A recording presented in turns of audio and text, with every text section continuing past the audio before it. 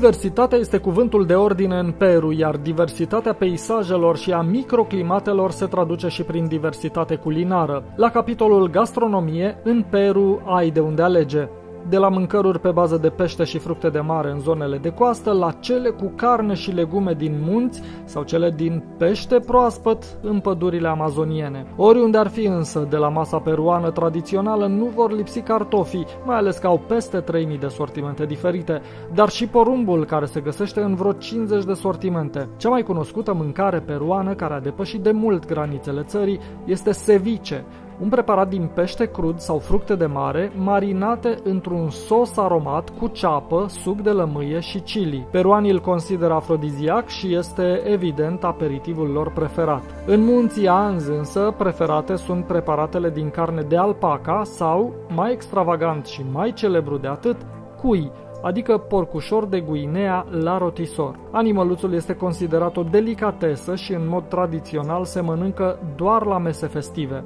De la masa peruană nu lipsește băutura pisco sur, un cocktail tradițional preparat dintr-o țuică locală, care este făcută din struguri, peste care se adaugă ou, suc de lămâie și sirop. Și tot în Peru merită să gustați din zecile de fructe exotice diferite pe care le veți găsi pe toate drumurile.